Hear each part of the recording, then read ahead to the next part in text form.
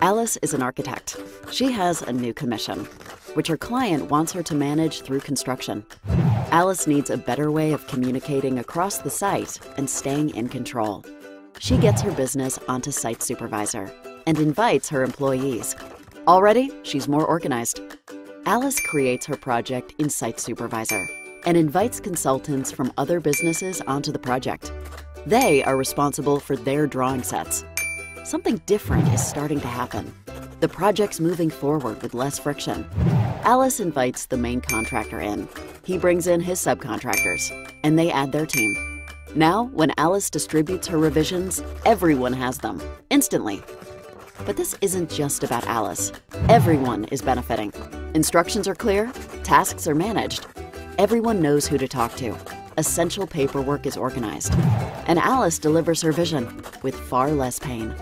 So, what are you waiting for?